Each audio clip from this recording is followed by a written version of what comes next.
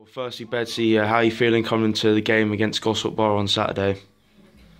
Uh, feel very great to come back in the team the group, um, and be in the squad again. Um, hopefully we go in there and uh, we get the three points, which is like we on focus on. And um, and that's it. I think the whole the more important is get back in, in the group, get fit, and ready to, to, to play again. I we're a 14 game unbeaten run. Is that the best uh, run you've ever been on in football? Uh, yeah, I think yes. Um, that's good. That's good for, for the club, for the lads. Honestly, like it's good for the for the back five as well because you have to give the credit to them.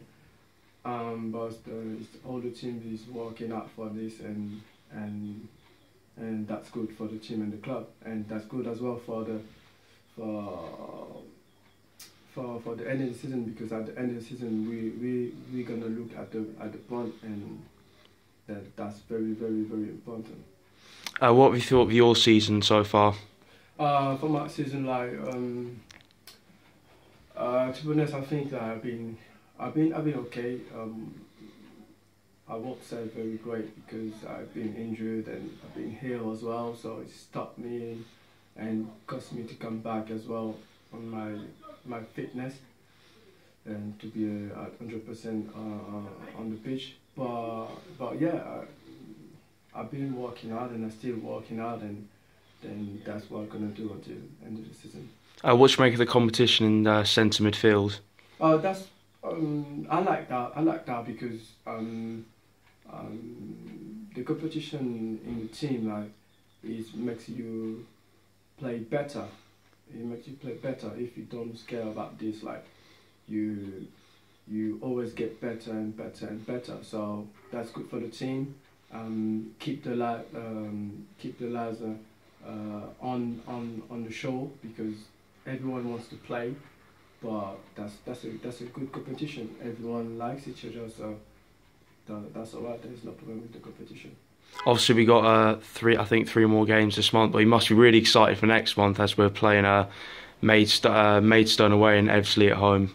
Yeah, yeah, but for now, for now, like we, we just focus on on the the game on Saturday because it's it's tough game. It's gonna be very important to take the three point. Then after that, we've got uh, Watson. So uh, at the moment, we're not looking at the the the month of April because we've got three three four games before that. But um, that's true. Yeah, the the month of April is going to be very, very, very exciting with, with good game coming up.